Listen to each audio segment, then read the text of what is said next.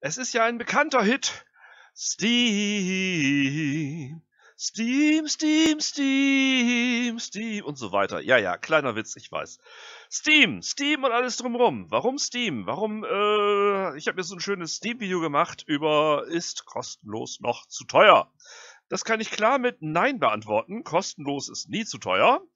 Ähm, warum habe ich das gemacht? Ist ja klar, für meinen ähm, Gameplay-Kanal brauche ich viele, viele Spiele, viele, viele Programme. Und äh, ja klar, dann nimmt man durch bevorzugt die kostenlosen. Ich muss mich selber ein bisschen einbremsen hier, ne? Äh, jetzt geht's aber erst vom Steam. Hier kommen wir auch gleich noch zurück, ne? Das ist eben mein Playschwert-Kanal, äh, den man abonnieren muss, damit man die neuesten Spiele zu sehen kriegt, die ich wieder mal äh, unter die Lupe genommen habe, getestet oder einfach nur angemeldet, je nachdem. Schwerpunkt kostenlos, kostenlos, kostenlos, kostenlos, kostenlos. Und da gibt's mal richtige gute dabei. Ja, Steam. Ich muss sagen, ich selber habe Steam sehr, sehr lange ähm, ja, boykottiert, kann man nicht sagen. Ich habe hab sie einfach ignoriert, ähm, weil damals kam Steam auf und ich dachte, super, wieder einer mehr, die mir irgendwas andrehen will. Vor allen Dingen war Steam damals eigentlich so, die Idee dahinter war, die Leute kaufen sich Spiele und wenn sie sie durchhaben, verkaufen sie sie weiter. Und das mochten die Softwarefirmen natürlich überhaupt nicht. Die haben gesagt, ihr könnt doch nicht einfach Spiele verkaufen, schon gar nicht gebraucht, das geht nicht, das ist verboten, weil ihr besitzt ja gar nicht die Spiele, ihr besitzt nur die Nutzungsrechte. Das ist natürlich Quatsch, weil Besitz habe ich tatsächlich an der CD und an dem äh, an der Packung und all dem Krimskrams, der dazugehört und den kann ich selbstverständlich auch verkaufen. Das hat denen gar nicht gepasst, deswegen ist Steam ja so toll für die Firmen, weil was du bei Steam kaufst, kannst du nicht weiterverkaufen. so, äh, wie man aber sieht, lohnt sich Steam eigentlich trotzdem, weil es gibt erstens eine ganze Menge kostenlose, wirklich gute Sachen. Und zweitens gibt es vielleicht nicht die brandneuesten Sachen als äh, Preisknüller, aber doch eine ganze Reihe Sachen kriegt man relativ günstig. Und dazu kommt natürlich noch, der Verführungsfaktor ähm, ist relativ hoch. Man hat die Software praktisch sofort. Ne? Man rennt nicht in den Laden und sucht dann rum und kommt mit irgendwann nach Hause, sondern äh, man kann den Kram einfach direkt bezahlen mit PayPal oder was weiß ich und lädt sich den Kram runter und auf geht's. So, hier seht ihr ja, dass ich schon eine ganze Liste hier zusammengetragen habe. Äh, nicht alles davon ist gratis, einiges muss ich doch tatsächlich mit Echtgeld bezahlen. Und mittlerweile gibt es so einiges, wo ich gesagt hätte, ach, der Kauf hätte nicht sein müssen. Es gibt sehr gute preiswerte Sachen. Da gucken wir jetzt beispielsweise einfach mal nach dem, äh, das fängt hier ganz gut an, Ihre Entdeckungsliste. Mal gucken, wo ist die hier noch versteckt? Wunschliste Neuigkeiten. Ich glaube unter Neuigkeiten? Nein, wo ist die Entdeckungsliste noch versteckt? Gucken wir einfach unter angesagt, da landet man letztlich immer da. So, bei angesagt kommt natürlich erstmal das, was Sie einem verkaufen wollen und was aufgrund irgendwelcher Suchkriterien, was hat der Kerl schon gespielt, runtergeladen oder gekauft, was wo so passen könnte. Topseller ist immer eine interessante äh, Geschichte, weil Topseller derzeit Elex ganz vorne, South Park naja, Player Unknown ist relativ abgestürzt und äh, ziemlich stark durcheinander gerührt wird diese Liste eigentlich immer, wenn irgendwelche starken Prozentaktionen sind. Also wenn äh, richtig, richtig die Preise runtergehen, dann klar, ne, schießt einiges andere dafür nach oben. Aber andererseits, äh, ich mag es, wenn Preise runtergehen. Das finde ich grundsätzlich immer gut. so, was haben wir denn hier? Kuratoren. Kuratoren sind Leute, die daddeln und Empfehlungen aussprechen. Und äh, man sucht sich dann einen Kurator, der so ansatzweise denselben Sch Geschmack haben könnte. Äh, ich habe, glaube ich, erst einen einzigen und da gucke ich eigentlich nie rein. Aber, aber, aber, wo haben wir denn hier? Wo ist der Wunschliste dabei? Nee. Meine Wunschliste ist übrigens eigentlich nicht wirklich eine Wunschliste. Das ist mehr so eine, ich halte mein Auge drauf Liste, bis sie irgendwann so richtig im, ähm, wie soll man das nennen? Im, ähm, also bis, bis gerade mal wieder so eine Prozentaktion so 80, 90 Prozent runter oder so aufschlägt. Ich suche jetzt gerade eben die Liste, die ich kürzlich hatte, nämlich diese Vorschläge nach, ähm, das könnte dir gefallen. War das unter Empfehlungen? Nein. Doch, unter Empfehlungen möglicherweise. Ah ja, Ihre Entdeckungsliste. Da kriegt man jeden Tag ein paar neue äh, Vorschläge, was so bisher gepasst hat. Und ich bin ja nun ein, ein, ein, ein Geier erster Güte. Ich gucke immer entweder hier, da steht nämlich der Preis, oder ein Stück hier unten hier, da steht auch der Preis. Und wenn da nicht null steht oder kostenlos, dann klicke ich einfach gleich auf Weiter. weiter, ja, weiter, weiter. Und oft genug steht dann erstaunlicherweise da kostenlos, auch wenn es Early Access ist oder vielleicht ein bisschen älter, auf jeden Fall kostenlos. Dann teste ich sofort an und wie gesagt, das eine oder andere. Ja, also hier kommt jetzt erstaunlich wenig. Da ist zum Beispiel kostenlos. Last Man Standing, das ist schon mal ein vielversprechender Titel, veröffentlicht am 29. März diesen Jahres. So. Ich sehe viele Schießeisen, ich sehe Leute, die ausgerüstet werden und grimmig gucken. Und ich sehe hier ein paar Fotos, die von der Grafik her vielversprechend aussehen. Deswegen packe ich es mir jetzt auf die Wunschliste, weil das kann ich nachher in aller Ruhe installieren. Da ist mal ein entsprechendes Download für nötig. Aber generell, ne, diese ihre Empfehl Empfehlungslistengeschichte, gleich eine neue Liste, die macht Spaß. Da findet man Sachen. Und ich habe bis jetzt relativ wenig gesehen, wo ich gesagt hätte, das lohnt sich. Was haben wir hier? Für 4 Euro ein Arma, äh, ja, was soll man das sagen? Ein Einzelspiel. Äh, lohnt sich immer. Ich bin natürlich wieder zu geizig, aber im Großen und Ganzen super. Da, kostenlos, AVA, New Update und bla bla bla. Kommt die Map irgendwie bekannt vor? Ah ja, ja, das habe ich irgendwann mal online schon gespielt. Äh, reicht für mich grafisch nicht mehr aus, obwohl es, ja doch, von 2011, das ist jetzt äh, sechs Jahre alt, knapp sieben Jahre alt. Also, gucken wir weiter. 30 Euro hier. Kostenlos. Brain Bread. Okay, ich fürchte, das ist schon ein bisschen älter. 2016, das ist gar nicht älter. Aber ich finde irgendwie, die Grafik ist nicht mehr das, was man heutzutage erwartet. Nein, Grund muss es ja haben, dass es kostenlos ist, ne? Ja, kostenlos muss nicht schlecht sein. Es gibt inzwischen eine ganze Reihe von äh, Spielen. Das sieht auch interessant aus. Ist mir aber zu teuer. Äh, eine ganze Reihe von Spielen, die von vornherein auf dieses Prinzip setzen, wir machen das Spiel kostenlos und nur wer besondere Waffen will oder einen besonderen Schnickschnack hiervon oder besondere, was weiß ich, der muss halt bezahlen. Das finde ich ein interessantes Projekt, wenn man sagt, ich spiele äh, für lau, dann zahlen andere für mich, dass ich das für lau spielen kann und wenn die, die was bezahlen, ein bisschen Vorteile haben, dann sei es drum. Was haben wir denn hier? Zone irgendwas. Ach da, S-Zone Online.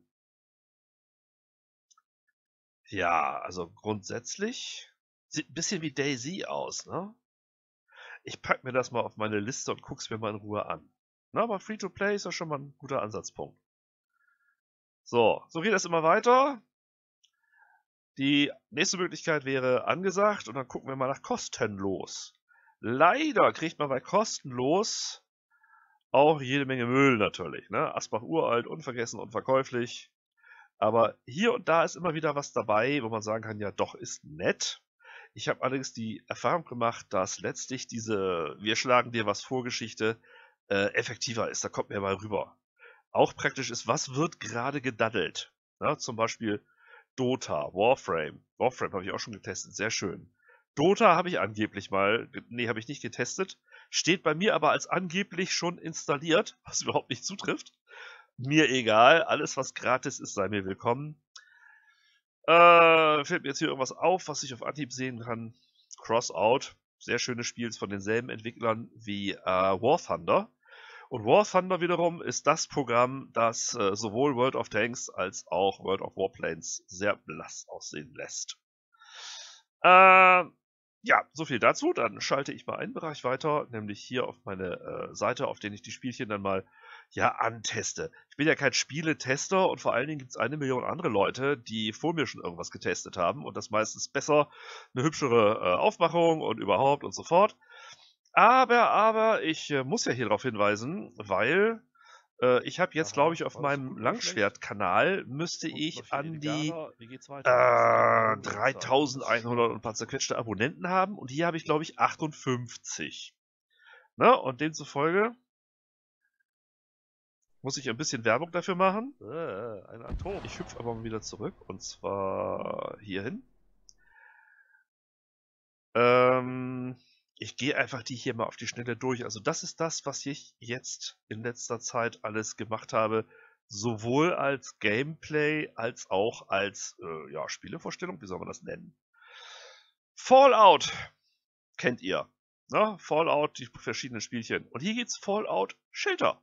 Und ja, das ist kostenlos. Da hat man hier einen kleinen Shelter, ein Vault, und muss den immer weiter ausbauen, am Laufen halten und so weiter.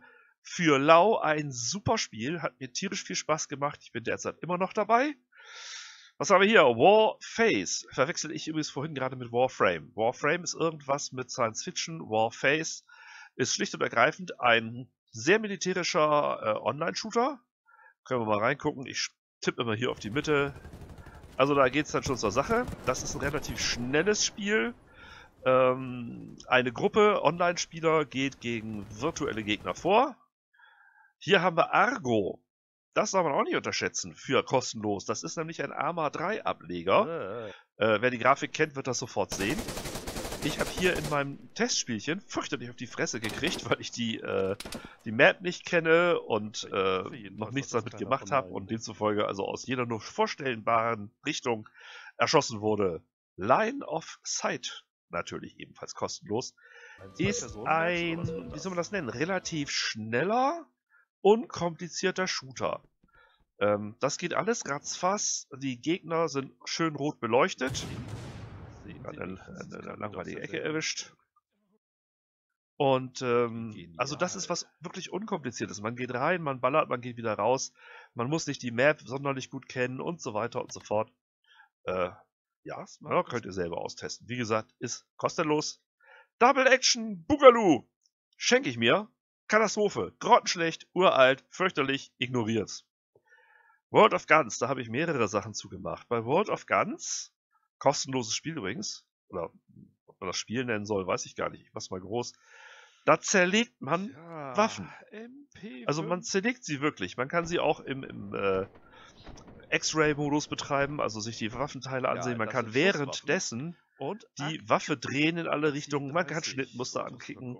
Man kann das ganze Ding zerlegen in sämtliche Bestandteile und das gilt dann für zig verschiedene Waffen.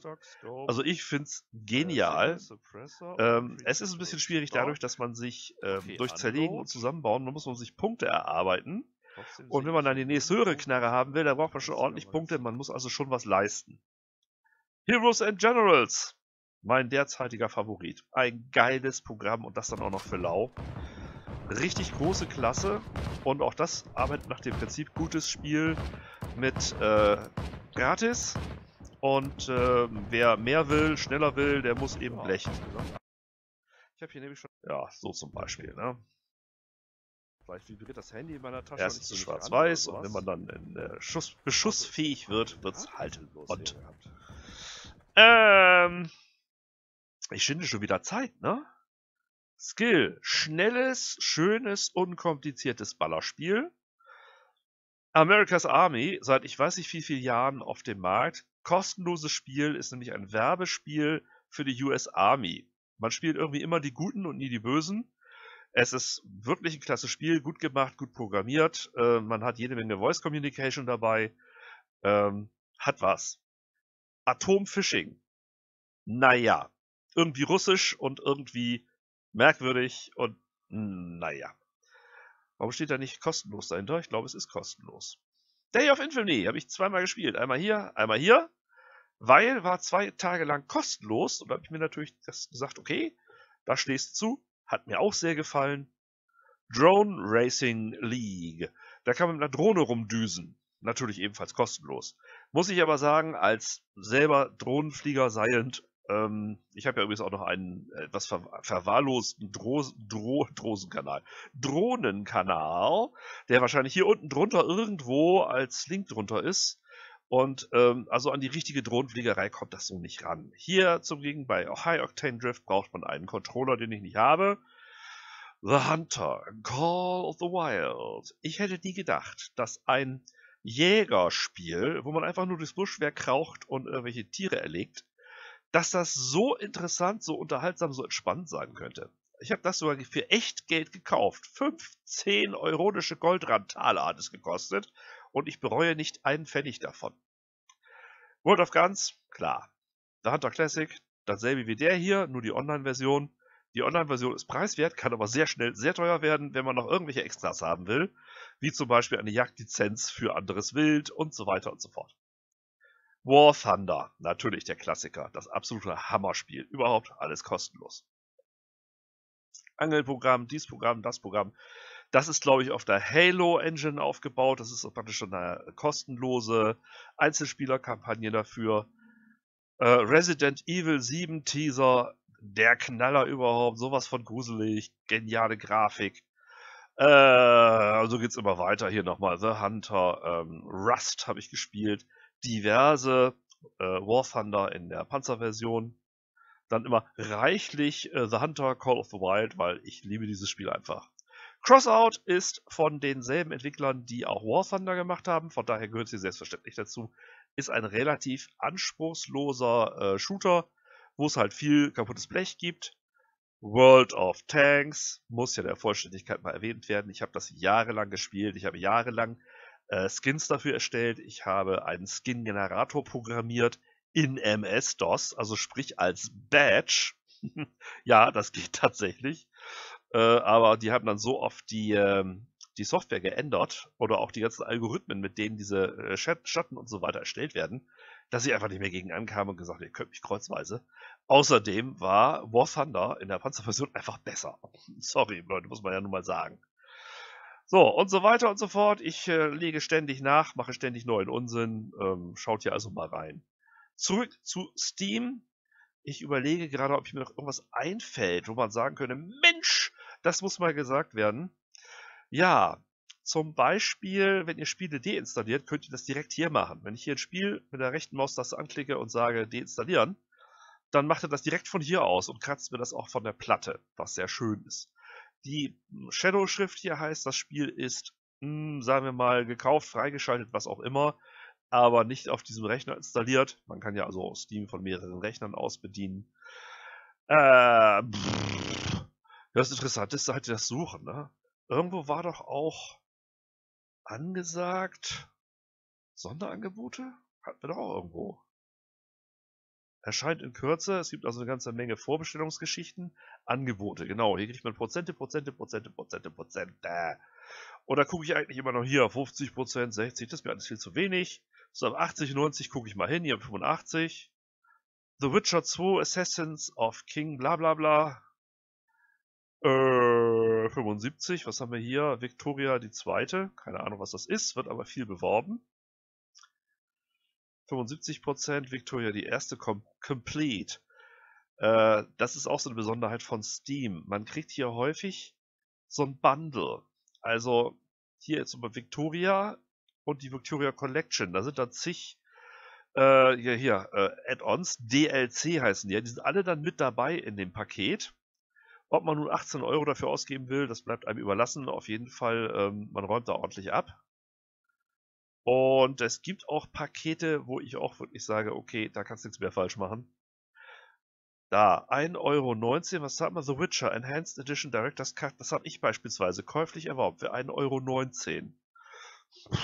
ich muss sagen, es haut mich nicht um. Also, ähm, ich, bin halt nicht so der Typ für solche äh, Adventure-Geschichten. Ich brauche mehr was, wo Körperteile rumfliegen, äh, vorzugsweise, wenn dabei geschossen wird.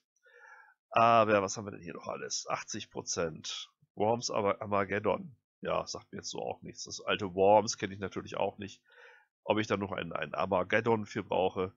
Warhammer, ja, ist leider nicht so meine Welt. Die Warhammer-Welt, hahaha. 80% gibt es hier Worms Ultimate, Worms Reloaded. Ihr merkt schon, es gibt so gewisse Tage, wo ähm, gewisse Spielgruppen bevorzugt werden. Trine 2 oder Trine 2, ich habe keine Ahnung, was das ist, nicht die leiseste Ahnung. Aber es scheint relativ bekannt zu sein, nur wie, mir mal wieder nicht. Noch ein The Witcher, äh, The Witcher, da war wieder das, das deutsche W im Wege. The Witcher. Ja, ich glaube, jetzt sind wir auch gleich durch. Ne? Noch mehr Worms. Trine, Trine, was auch immer. Kabelas Big Game Hunter Pro Hunts. Aha, das werde ich mir gleich mal ansehen. Ach, das ist der Typ mit dem John Wayne Hut. Ich denke immer, das ist ein Western und dabei ist das Big Game Hunt Pro kaufen. Das werde ich mir mal auf die Wunschliste packen.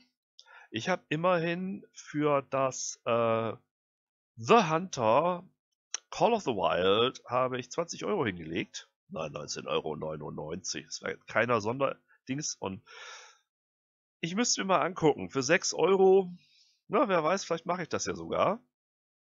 Aber zu einem späteren Zeitpunkt. Sollte ich es mir kaufen, dann werde ich euch da auch schön was zu zeigen. Aber wie gesagt, ich gucke vorher bei YouTube mal bei anderen Gamern und die sollen mir dann äh, zeigen, wie schön das Ganze ist. 75%, Flat Out, nie gehört. Flat Out hat was mit Flatulenzen zu tun wahrscheinlich. Noch mehr Worms, noch mehr Worms, noch mehr Worms. Ja, ist ja gut. Würmer, überall Würmer. Besser als überall Spinnen. Ihr spinnt wohl. Kenne ich nicht, kenne ich nicht, kenne ich nicht. Pathologic Classic, pathologisch, Pathologie klassisch. Interessanter Name. Ist das ein Adventure rund um Leichen? Ich guck einfach mal rein hier. Auf der eine Cult Classic psychedelische First-Person Survival Game. Also die Thematik gefällt mir, aber ich fürchte die Grafik ist schon ein bisschen hm, abgeranzt, ne? Da ist schon hexadezimale Patina auf den Wänden. Gut, und so weiter und so fort und so weiter. Ihr kennt euch vermutlich alle mit Steam sehr viel besser aus als ich, weil ich ein alter Sack bin und mich mit so modernen Sachen wie dem hier eigentlich noch gar nicht so richtig befasst habe. Oh, ich erinnere mich ganz dunkel, davon habe ich mal irgendwie eine Demo gesehen. Sir, you are being hunted. Da wird man irgendwie von allen möglichen Wesen, Leuten und so weiter gejagt, in einer interessanten Umgebung. Aber auch da ist die Grafik ein bisschen merkwürdig, ne? Spielt da einer Posaune? Ja, eine Posaune ist nicht etwa eine, äh, ein Schwitzbad zum Sitzen. Ja, ja. Bla, bla, bla, bla, bla, bla, bla, bla. Ich fülle nur ein bisschen ab, ne? Bla, bla, bla. Ich habe dann 85 gesehen.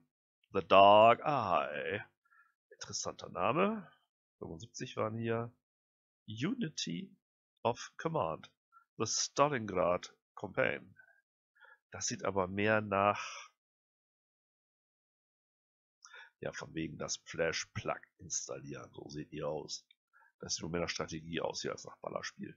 In diesem Sinne nutze ich das schamlos als super Vorwand, äh, das einfach abzubrechen. Vielen Dank fürs Zuhören, sofern ihr es überhaupt getan habt. Und äh, so oder so, falls ihr es nicht getan haben solltet, dann wisst ihr jetzt gar nicht, was hier drin war. Guckt auf meinen Game-Kanal, abonniert ihn, macht mich glücklich. Geld verdiene ich damit leider kein, keins, genauso wenig wie übrigens wie mit meinem Langschwert-Kanal, auf dem ihr jetzt gerade seid. Aber ich habe meinen Spaß damit, das ist schließlich der Sinn der ganzen Übung.